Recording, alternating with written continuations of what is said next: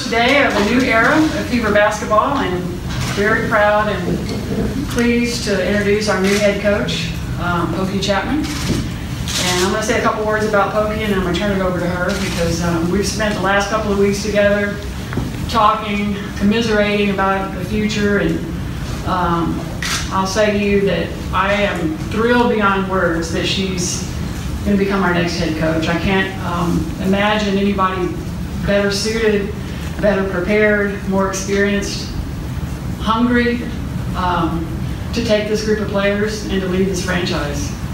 Um, you know, Pokey and I have known each other through the years, and I haven't really gotten a chance to know her more than I have these last couple of weeks. But um, you know, things that I've observed about her teams. One is they're well coached, they're well disciplined, they play hard, um, they play fast, score a lot of points.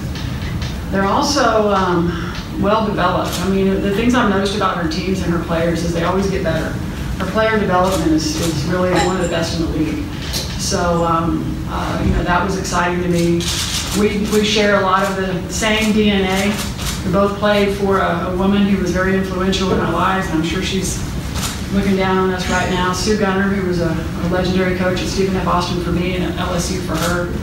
Um, and you actually emulate a lot of her body language position on the sidelines.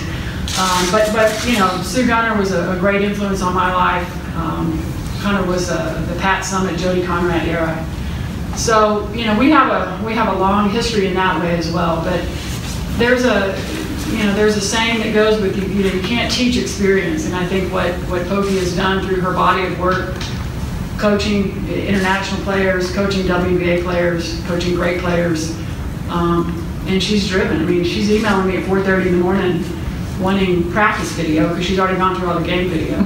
so um, I am so excited to be working side by side with her as we move forward, build off the success and the foundation that we have. Um, you know, we're this is just the beginning of a new era of more to come, more to come.